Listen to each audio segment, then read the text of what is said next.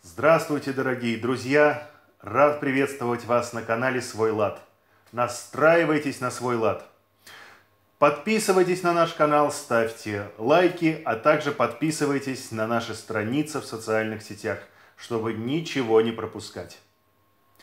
На нашем канале мы будем рассказывать вам об интересных людях, о том, чем они стали знамениты, чем они жили, чем они живут, как сложилось, как сложились или как складываются их судьбы. Мы будем вам рассказывать об интересных музыкальных инструментах, которые предопределили звучание популярной музыки на многие-многие десятилетия – мы будем вам рассказывать о хороших и интересных произведениях, музыкальных, литературных, художественных, любых.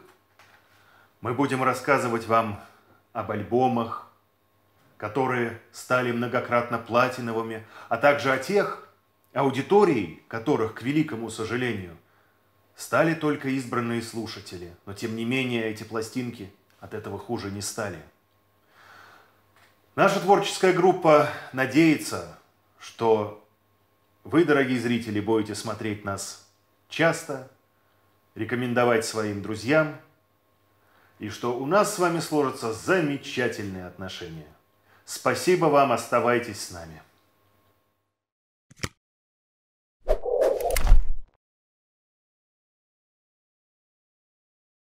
Гитарная мастерская. Что вам приходит в голову, когда вы слышите это словосочетание? Может быть, какое-то огромное помещение, фабрика, или же, к примеру, не знаю, блок какой-то в промзоне. Но на самом деле мы с вами сейчас находимся в спальном районе Москвы, коих в столице огромное множество – и сейчас мы видим, что гитарная мастерская может разместиться на площади, которая приблизительно равна площади комнаты в квартире. Мы идем в гости к известному гитарному мастеру Сергею Львовичу Рождественскому. Сергей Львович Рождественский родился 26 августа 1966 года в Горьком. В 70-е годы вместе с родителями переехал в Москву, а в 1983 начал работать на фабрике МЭФМИ, Московской экспериментальной фабрике музыкальных инструментов. В 1986 году прошел школу повышения квалификации под руководством мастера Владимира Макаровича Биатова. Специализируется на реставрации и воссоздании акустических гитар, в том числе и антикварных. Здравствуйте, Сергей Львович. Спасибо, что согласились принять участие в пилотном выпуске YouTube проекта «Свой лад». Сейчас весь интернет пестрит сайтами и объявлениями услуг гитарных мастеров. Все-таки гитарный мастер кто он? Чем он занимается и чем он не занимается? Что такое мастер? Это надо отправляться к китайцам, наверное. Существует два понятия – мастер и профессионал. Вот. И, соответственно, профессионал, он профессионально может выполнить какую-то работу. А мастер – это который сделает вокруг себя целый мир, в котором он будет жить и эту работу делать. И где людям будет там приятно находиться, и они будут знать, что из этого мира, этого мастера получится все хорошо, и, и будут они полностью уверены в нем. Вот. Э, то есть мастер, содержит мастерскую, покупает э, разные станки, инструменты, ну и чинит. Профессионал может э, прийти к любому верстаку и профессионально выполнить какую-то работу. Вот. Называться, конечно, приятнее мастером. Скажите, пожалуйста, в каких случаях следует обращаться к мастеру? В каких случаях, может быть, следует обращаться к профессионалу, ну, если следовать вашей терминологии? А в каких случаях это может быть бесполезно? Или таких случаев не существует в природе, и мастер может буквально все? Мастер может буквально все. Профессионал обычно работает у мастера. Вот, так что обращайтесь, хотите к мастеру, хотите к профессионалу. Вот, починить и воссоздать можно все, что угодно. То есть любой музыкальный инструмент. Э, здесь встает вопрос о стоимости этой работы есть такое понятие, как, ну как, разумность оплачивать такую работу. Если цена ремонта превышает там, две трети стоимости инструмента или там, три пятых, наверное, стоит призадуматься. А, но в основном люди гитары очень любят.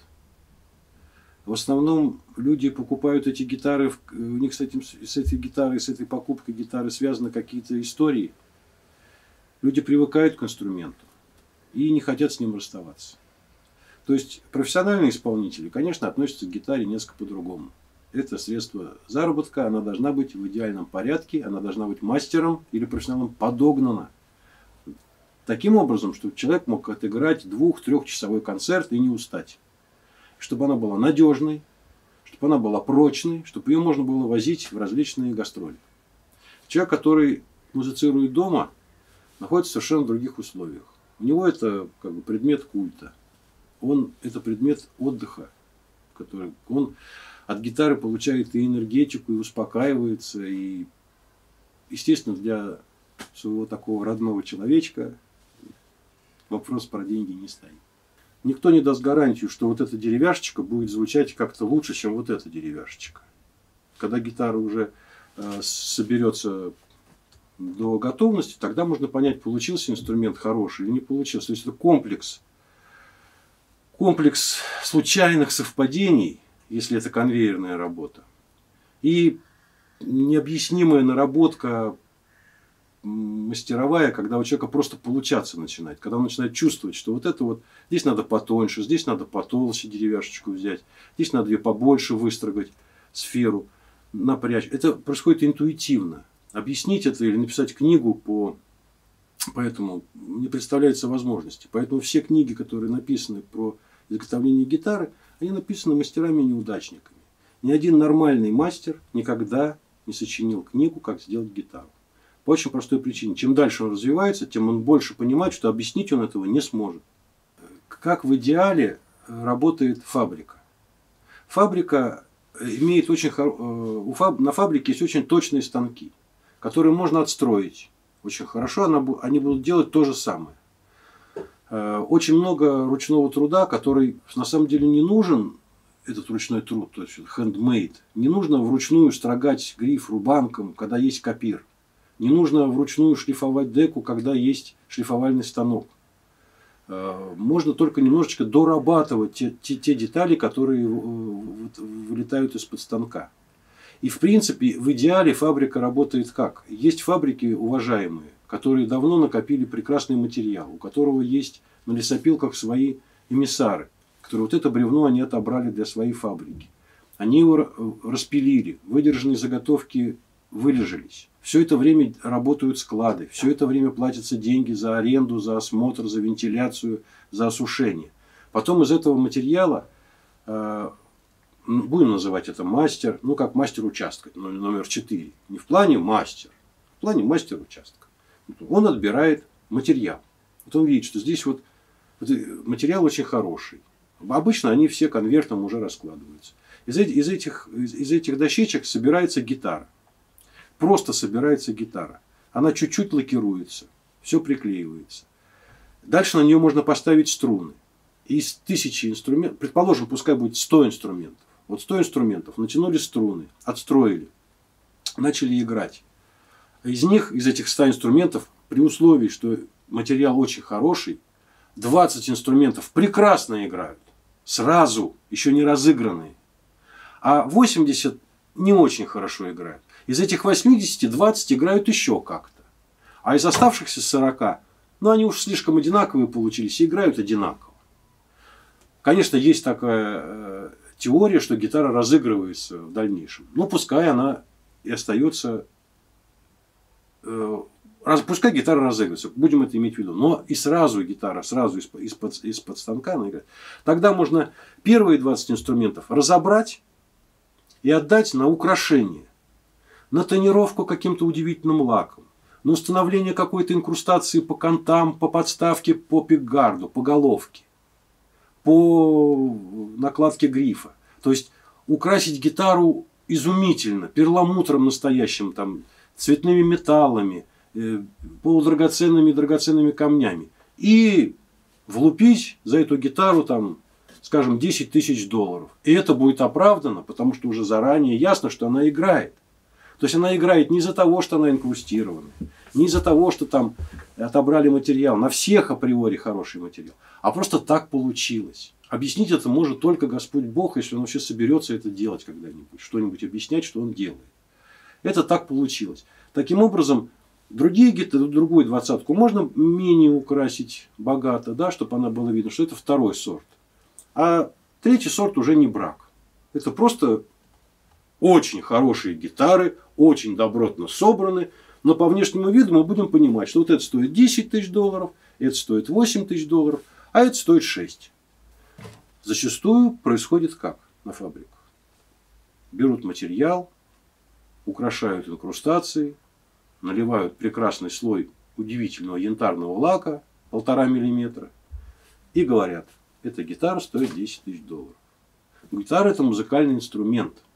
Музыкальный инструмент, измерительный инструмент должен нам показывать миллиметры и его доли, а инструмент музыкальный должен нам выдавать ноты определенного качества, определенной силы и определенной окраски. То есть, если вот так вот сделать выжимку из сказанного, то получается, что полностью предугадать звучание инструмента, что при фабричном, что при индивидуальном производстве невозможно. А, дерево очень неоднородный материал.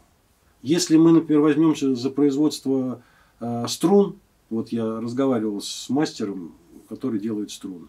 Вот если мы возьмем квадратный миллиметр металла, он будет вот такой однородности принципе, может быть, даже искомый. И твердости, и спектрально все правильно. Теперь возьмем квадра э, квадратный метр этого металла. Вот в этом квадратном метре этого металла, вот этих кубиков, неисчислимое множество, я не знаю, какая там, это можно умножить, конечно, сколько квадратных миллиметров в кубометре, очень, очень большая неоднородность. Это даже металла, который выплавляется, вот одна плавка в мартене. Одна плавка мартена может отличаться от соседней плавки мартена чуть-чуть, но это будет уже другой металл. А соответственно, при, при мельчайшем исполнении, при вытягивании проволоки, это даст ее неоднородное вытягивание. Это даст ее неоднородную вес по длине. Это даст как бы тяжелая часть этой, этой, этой, этой вытяжки будет сильнее колебаться и нарушать общую картину. Это металл. А что такое дерево? В дереве, в бревне, вот даже рядом диаметрально противоположные частички уже другого состава. Как можно предугадать? Есть ли такая вещь, как разыгрывание гитары? Если она есть, то в чем она заключается? Честно говоря, скорее всего, это какой-то физический процесс. Его я объяснить не могу. Я думаю, из, из моей практики, э, просто если я беру гитару и на ней играю, я вижу, что она играет, и другое, я вижу, что она не играет. А у нас, когда мы были молодыми мастерами, ходили со, со своими инструментами на сдачу, то есть на, ну как бы всероссийский конкурс был каждый месяц. Инструменты все проигрывались, ставились баллы, из этих баллов составлялась наша зарплата. То есть каждый месяц был всероссийский конкурс в Москве на фабрике МФНИ. Тогда мы между собой, у нас было это разыгрывание, то есть в кавычках. Потому что все, конечно, делали, ставили струны вот накануне. Естественно, нейлоновые струны не пока обтянутся, пока отыграет гриф, пока поприсядет дека, пока гитара воспримет по-настоящему все вот это вот напряжение струн.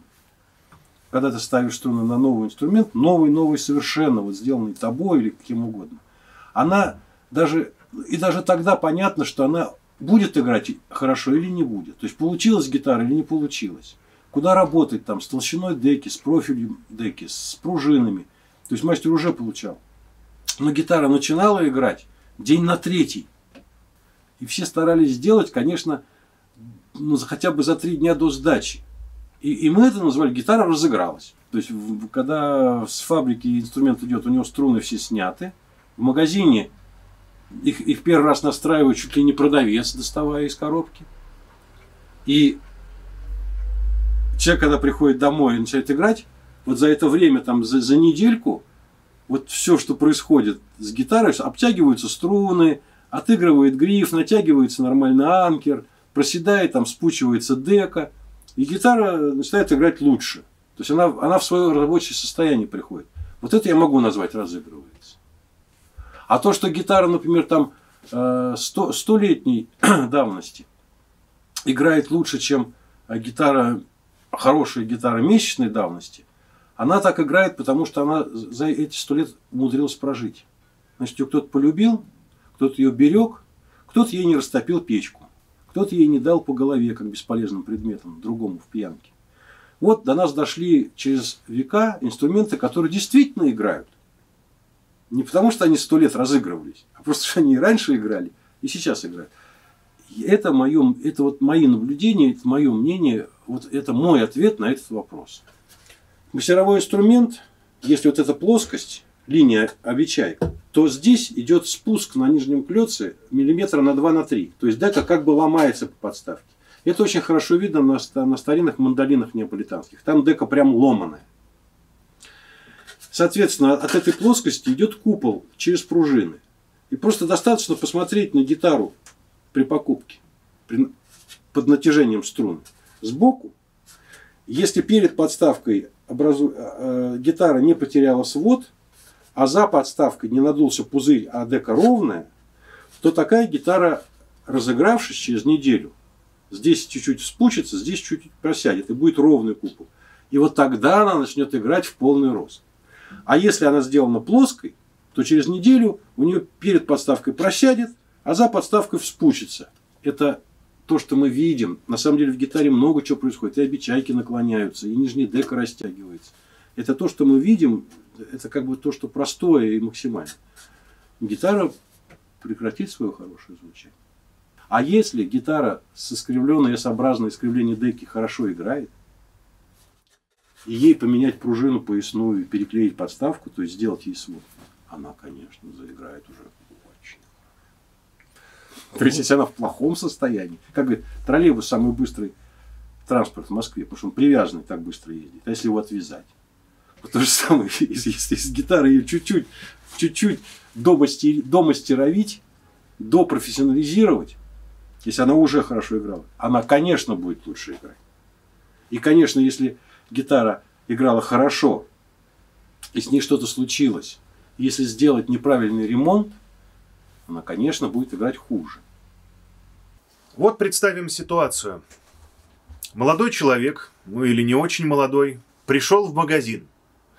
И он хочет купить себе гитару. И приходит он в магазин, и глаза у него разбегаются, потому что эти гитар там этих видимо-невидимо. Как ему с одной стороны выбрать себе инструмент, а с другой стороны купить себе именно гитару, а не изделие для декора?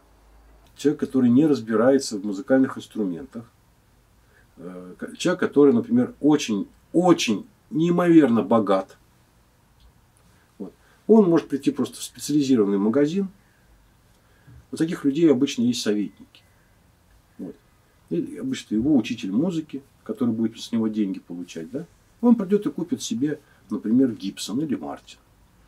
Заведомо хороший инструмент, заведомо дорогой фирмы. Продержав этот инструмент 40 лет у себя дома, и, может быть, так и не научившись играть, он, он может как минимум за эти же деньги отдать. То есть эти инструменты, они не дешевеют. А если человек хочет купить, то есть у него есть ограниченный бюджет, как сейчас говорят, бюджетная гитара. Соответственно, он будет рассматривать инструменты, скажем там, от 8 до 15 тысяч рублей. Тут, конечно, море и богатство различных инструментов, различных фабрик, различных даже, а как потом выяснится, и конструкций. Вот. Здесь, в принципе, нужно выбрать инструмент, на который, который бы его не разочаровал лет через пять, если он научится играть. То есть надо все-таки выбрать инструмент с настоящей живой декой верхней. Живая дека, она тембрально больше окрашивает звук. А гитара из переклеенного шпона, она может быть и яркая, и четкий давать звук, но он не тембрально окрашен. Он бедный по насыщению. А, а с, с живым материалом, то есть с настоящим массивом, э, звук более, более, как, ну, более приятен уху. Но есть другой вопрос. Можно на, этот, на это живое дерево налить полтора миллиметра лака. И, собственно, тогда уже не рассматривать его как живое дерево. То есть, опять же, э, посмотреть, чтобы гитара была, чтобы слой лака был не очень толстый, и чтобы верхняя дека не была искривлена сразу же после натяжения струн. Очень много можно выбрать инструментов в таком ценовом диапазоне в магазинах. А дальше уже, так сказать, став на коне, научившись играть, уже можно подумать о той гитаре, которая вот тебе очень нужна. Но если купить такую сразу, то она, может быть, всю жизнь будет с тобой. И не будет тебя, тебе досаждать своим нехорошим звуком. А вот сразу будет хороший звук из-за того, что дерево теплоту дает. И, ну, и они обычно очень аккуратно собраны. А чем отличается правильный ремонт от неправильного? То есть чего нельзя делать категорически при ремонтах гитары и что делать необходимо? Это очень широкая тема для разговора, широчайшая. В принципе, в принципе, очень многие э, гитары по, построены на фабриках по обходной технологии. То есть так как внешне, внешне ей придать э, хороший вид, и чтобы она была похожа на музыкальный инструмент, э, упустив все возможные подробности. Очень часто, например, такие гитары покрываются цветным лаком сверху. Они тонируются подложка. То есть как грунт, потом цветной лак, потом идет слой лака прозрачного. А, что нельзя делать с такими гитарами? Их, их почти что нельзя склеивать. Потому что как только ты начинаешь их склеивать, э, верхний, верхний лаковый слой чуть-чуть не совпадает, невозможно точно попасть, потому что злопнуло, потому что дерево усохло. Ты начинаешь шлифовать, образуются сразу вот эти белые поверхности. Значит, надо инструмент лакировать после этого. То есть нельзя, например, выбрать подставку э, по ее, по ее краю потому что цветной лак будет крошиться. И вот мы видим подставку, как ее клеят на фабрике. То есть внутри выбрано и приклеено к дереву, но под подставку заходит лак. Соответственно, снаружи, если мы смотрим, мы видим очень аккуратную приклейку. Но подгонки тут нет. И звук, и звук передается сначала на клеевой шов, а потом уже на депу. То есть при ремонте, если такая подставка, она вот отскочила, если мы при ремонте, договорившись э, с клиентом, вот так вот все обрежем четко и приклеим ее к дереву, звук у гитары улучшится. Улучшится сразу. А если мы переднюю грань сделаем сферой и будем приклеивать через вот такой вот пуансон, тоже выгнутый, то есть мы подтянем под себя деку, сделаем перед подставкой вот эту вот выпуклость иском, то звук тоже улучшится. То есть это вот и есть грамотный ремонт, когда при ремонте звуковые и прочностные качества инструмента улучшаются. К сожалению, на гитарах не, небольших ценовых уровнях это сделать, если это сделать, то можно очень сильно нарушить внешний вид. Но при этом улучшить звуковые свойства. Но это уже не будет никому интересно. Есть вот гитары, которые так сделаны, вот чешские гитары, болгарские гитары. На них можно делать прекрасные улучшательные ремонты, потому что они сделаны по старым э, системам, э, по, по традиционной технологии сборки инструментов. А что клиент э, больше хочет видеть вот, в результате ремонта? Это внешний вид или это все-таки улучшенные звуковые свойства? Мастер мастер должен обращать внимание на то, какой он инструмент отдает своему заказчику. Невзирая на то, то есть не делать так, чтобы он ухудшил свои внешние, внешние качества. Но ведь... Если мастер знает, что это сделать нельзя, то лучше и не делать. Потому что потом будут обращать внимание на то, какой внешний вид у инструмента. Это так устроен человек. Нужно, чтобы все было аккуратно, и ровненько. Поэтому, если, если мастер, мастер в том и заключается, что если он знает, что внешний вид инструмента нарушится, и требует требоваться перелакировка, а перелакировка это страшное дело. Это снятие лака, это шлифовка опять дерева, это поднятие его ворса, это грунтовка, это опять нанесение в специальных камерах лака. Это очень дорого. это несоразмеримо со, со стоимостью инструмента, то тогда лучше такой ремонт не делать. Или делать, но уже полный цикл. Либо делать уже полный цикл. Но это если человеку озвучить такие цифры, то я думаю, что никто не согласится.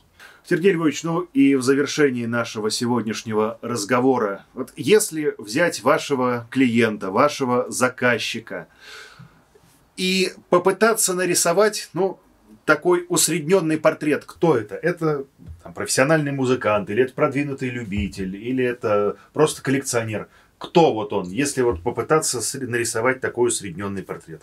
Мой клиент – это мой учитель. Я хоть и старенький, я вроде как и опытный, но ошибаюсь. И, и каждый клиент, это я на каждом клиенте учусь работать лучше, работать грамотней, работать аккуратней. И я очень хочу, чтобы когда я отдавал починенный инструмент человеку, чтобы у него на лице была только положительная эмоция, и через месяц игры на, на починенном моем инструменте у него он про меня забыл. Что Даже я так. существую на свете. Это значит, я очень хорошо все сделал.